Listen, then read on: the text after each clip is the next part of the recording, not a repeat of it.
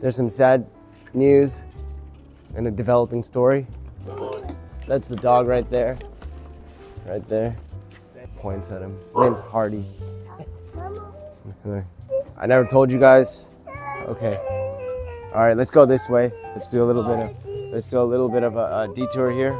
So, I never told you guys why um, my kid's moving his daycare center. It's actually the principal or like you know the head, whatever He got cancer, dude. So they're a daycare center that's trying to 올려, 팔 올려. It's a daycare center that's been open for 40 years, bro, and and they're closing it down. So we've been going to different daycare centers, you know. So like his class, they're all dispersing, you know. And then I just realized, dude, like like my wife has been talking to the other moms and shit. And there's this girl that has like the same birthday as him, bro. Her name's Doa, D O A or something, D O A H or something. Doa. I was like reading through my wife's text, and she was like, "This girl Doa thinks that like Little Caesar's her boyfriend, bro." Oh, really? Yeah, dude, and she's like, and the mom is always the Doa's mom's always like, is angry and like doesn't want to go to daycare center. Mm-hmm. She's like, don't you want to see Caesar? And then she's like, yes, you know, and she's going to a different daycare center. They're gonna be apart.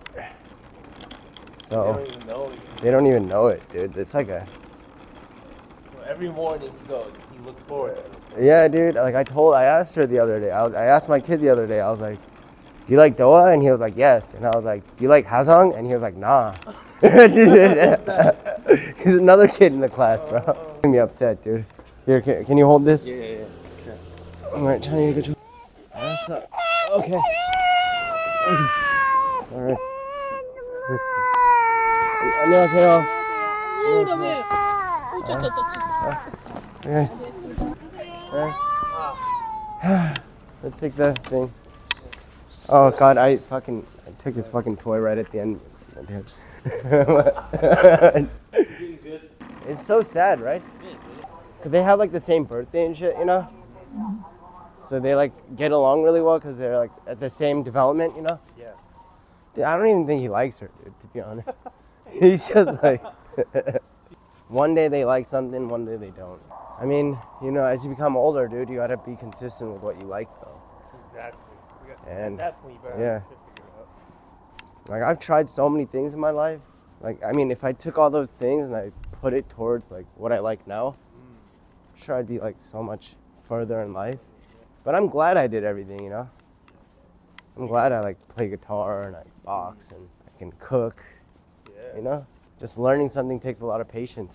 While I was learning all those things, maybe I honed in that honed in on the skill of patience. And You said it before too. If you learn one thing, you can learn another thing. of course, Translate. it does translate, but it takes uh, some you know traits, but it takes some new traits too, unlocking some part of your brain. I don't know. But yeah, dude, just stay consistent, be patient, don't give up. You want to try the Mr. Beast chocolate? Milk crunch, almond, and milk chocolate. Oh, peanut butter, bro.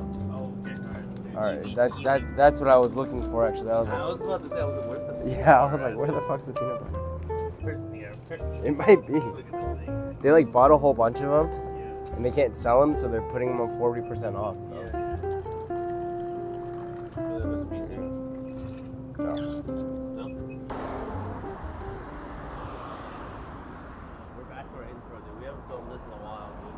Yeah, last time was like with Jocelyn or something. No. Yeah, yeah. Damn, I miss Jocelyn, bro. I know. Hell yeah, dude. Our first two mentees get break into tech. I think we're, Dylan dude. too. I think our fucking thing, right, Yeah. is like, dude. If you want to break into tech, you can break into tech. The- only job is not like a a software engineer. Yeah, exactly. There's Yeah. project manager. There's, you know what I mean. And coding helps with all of it. And coding, you need a coding background with all of it, right? But, I mean, or like not. You don't even need a background, but you need to know, be knowledgeable. You know. Yeah. And like, Work with them. and they get exposed to me, dude. You gotta be fucking around like five of me all day, bro. yeah. you know? Yeah. All the jobs are gonna be tech jobs in the future. Come on. Are you making the uh, egg McMuffin today, dude? Hell yeah, dude. That's my thing, here, dude. Really? So much shit is going on in my life right now. We're almost we're almost about to be done with the course. Yep. Ah, we've been hard at work this Hard month, work. dude. And every night I've been working, dude. I know. Less social, baby. Last night I couldn't even go on a voice chat. I think I told someone I'd go on a voice chat, but I was Oh shit! You were you were. I thought you were asleep. You just you decided to crank it out. yeah. That's what's up. Dude, I'm like looking at my old code recently. I'm like, what the fuck did I do? All the time, dude. Like the React query shit, I have no fucking clue, bro. You know, my name is Phil. Wrote my first line of code at the age of 30. You know, if you have any things that you review, leave it in the comments. We got a conversation started. Like, comment, share. It helps us a lot. And if I can do it, you can do it too. Coding saves lives. We're using Firebase authentication, and uh, I was trying to pass the UID that Firebase gives to MongoDB and make an object ID, but the max length for object IDs in MongoDB is 24, and UIDs are 28.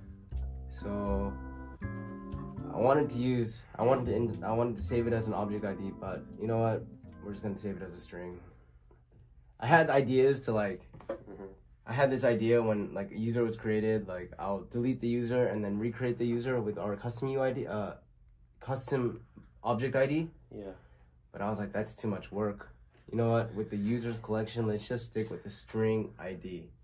But the reason why the object IDs are good is because it helps with populate populates later on. But um, it's all, it's okay. I'll, I'll just create. I'll just do the same thing with aggregations. Yeah. Oh yeah, dude. But Yeah, I have so much respect for like older people trying to learn coding.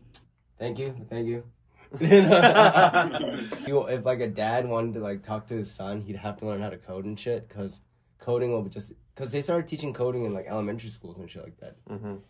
And now like people are like, hey, no, coding is like bad. But honestly, like, I think it'll still be learned no matter what. Like, Mm-hmm. dude, I took two years of Spanish in high school. Don't fucking remember a thing, dude. Rename these guys. Oh, it's Jocelyn. Hey, Justin. What's up, Josh? I just renamed that. That's done. All right. Hey, Jocelyn. Hola. Hola. Hey, what's up? Um, estoy bien. He estado traba- trabajando en esta aplicación de software. Las cosas han ido bien y se han ido sacando todas las tareas. I think we should do a, a little bit of planning today. Do you guys see my screen? Yeah. All right. Um, everything is like pretty much set up. Uh, you guys will see. I have no user here right now. And then if I sign in, right? Hold on, I'll show you guys. Log in. Um, Phil Choi at iCloud.com. And then sign in. And then it creates a user response, blah blah blah, and then you'll you'll see in here uh, someone is created, and then programming language is empty array. I had an issue earlier, but then, and then if I refresh, uh, the user updates. So we see that we see a last at that is different from the created at. Uh, so that's pretty cool. We finished with that, and then also now if I log out and I want to uh, log in, I sign up for a new screen, and I try to use the same email and I, I go on blur, it'll show that it's duplicate. So it'll only allow that, allow for like, um, and then it'll show a check mark if it's okay. And then that's where the React Native toast will come in that I asked Booty to do. So uh, I want to set that up. And then also I set up like a little pattern for us to do. Uh, wait, hold on. I think I renamed this. Okay. Yo, I I, really like the checkmark. oh, thank you. um, Yeah, it's a nice checkmark, huh? no, um, But um, there's a start team Notion for Wiki, and then an I18N and a React query. Oh, this one's done. Um, React query that we have to set up. These are kind of um, low hanging fruit. What about like um, the setup React Native Toast message? We should put that to doing. I don't know who's gonna do that. Uh, we do need to make this use server health uh, hook to check if server is running. Um, so like if the server goes down, we have to like note notify the user like, hey, like the server's down, don't use the app right now. Um, pretty much done. And then what else? What else? What else? What else? This resource. And then we're gonna have points for the user, right? So I'm gonna call this uh, user points. Users points. And then we're gonna put like uh, user ID um, points. Uh, and then we, we probably need more like transactions or something like that. And then um, here we can do something like um, fuck. Hold on, I'm thinking.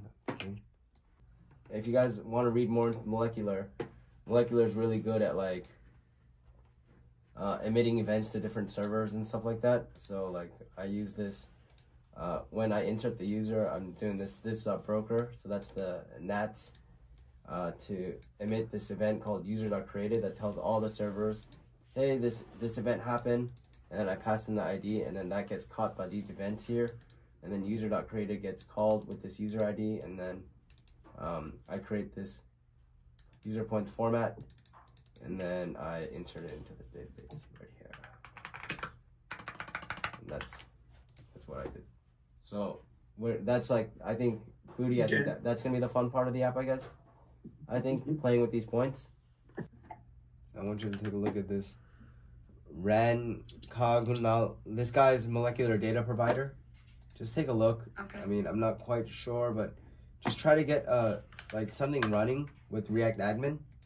Like, just read through this documentation, right? Like right here. You just have to documentation, and then the tutorial, and follow this tutorial. Oh, what did you guys think about this, dude?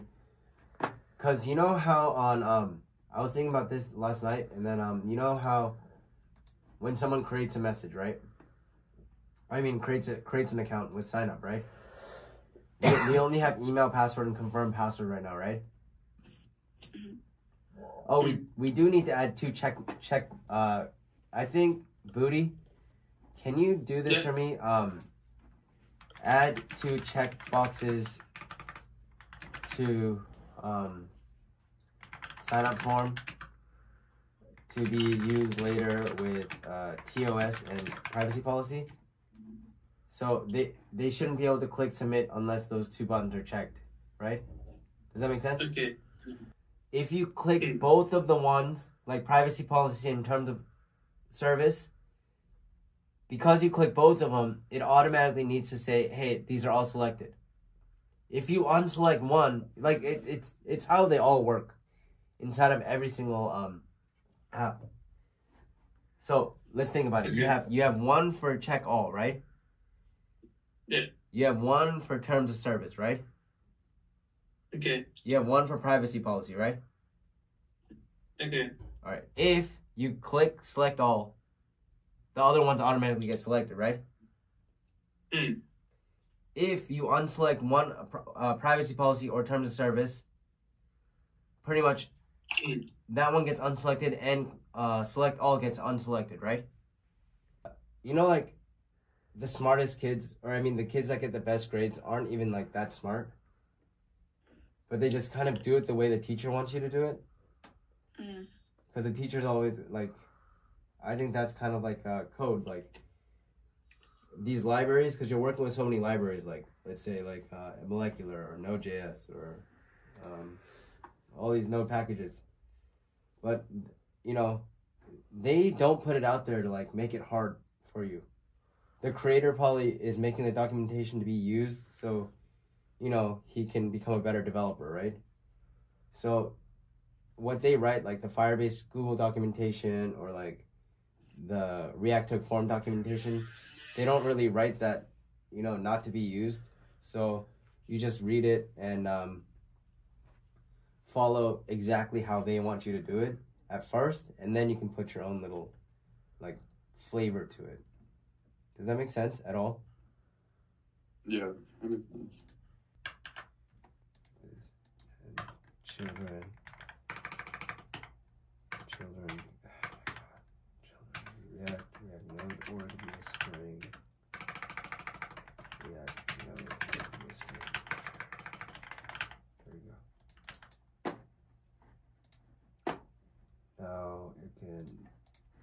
I can press get started and it'll go here and I can put it, I can just use any animation here now. So now if I want to use an animation, I can go here and um, uh, let's go back, uh, let's go back, go back, uh, load the animation. I can search for an animation like uh, uh, like.